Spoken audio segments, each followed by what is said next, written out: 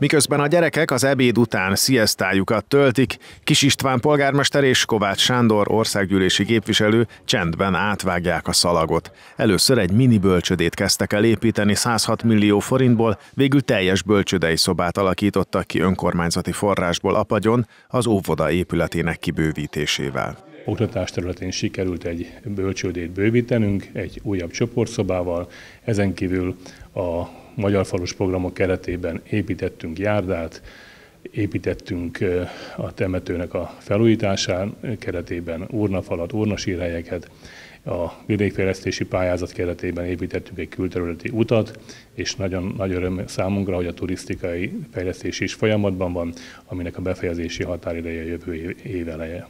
Kovács Sándor, a térség országgyűlési képviselője azt mondta, a bölcsődék nem csak a kisgyermekeknek fontosak, hanem a munkaerőpiacra visszatérni akaró édesanyáknak is. Az elmúlt négy évben csináltunk egy mérleget, több mint 96 milliárd forint érkezett a vállalkozásokkal együtt a, a régióban, és azt gondolom, hogy ez gazdaságélénkítési szempontból, mivel a bölcsőde az bármilyen fontos, ez egy gazdaságélénkítési projekt is, amely az a családpolitikát old meg az adott településen, hiszen azok a az anyák, azok a családtagok, akik el szeretnék mennek dolgozni, a bölcsőde leveszi a gyermekgondozási problémát az ő mindennapi időbeosztásából, és el tudnak helyezkedni újra a munkaerőpiacon. Ennek egy része egy régebbi lépése, amikor a 40 éves munkaviszony után elmehetnek a, a nők nyugdíjba, hogy ők nagymamaként szeretnének segíteni, tehát ez a bölcsőde és a korai nyugdíjazás azt gondolom, hogy segít a foglalkoztatás politikai eszközként a munkaerőpiaci elhelyezkedés fejlesztésre,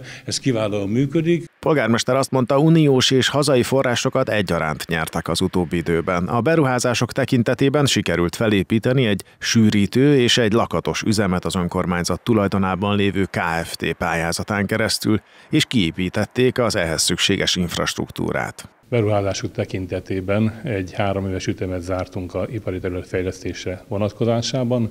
Ez azt jelentette, hogy sikerült felépítenünk egy sűrítőüzemet, egy lakatos üzemet a önkormányzat tulajdonában levő KFT-nek a pályázatán keresztül. Ennek, ehhez kapcsolódó infrastruktúrát az ipari területen vittünk be vezetékes gázt, kiépítettük a ivóvízhálózatot, új transformátorállomások épültek, ezen kívül útépítés és a, egy, egy 10 megás lágazó hálózat fog kiépülni, ebben az évben fog befejeződni, ami további fejlesztési lehetőséget fog megalapozni. A ipari területnek, amit említettem, a fejlesztése az egy közel három éves intervallumra tehető, de ez egy 800 millió forintos nagyságrendű ipari területfejlesztés, azon kívül pedig a Magyar Falu, illetve uniós forrásból közel egy 300 millió forintos nagyságrendű beruházás érkezett a településre.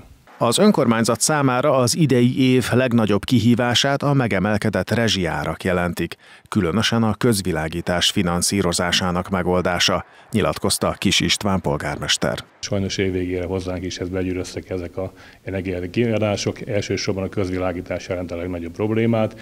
Ez nálunk 500 ezer fontos nagyságrendű 3 millió forintra emelkedett havonta ami a rendelkezésünkre álló normatívából teljesen lehetetlen megtéríteni.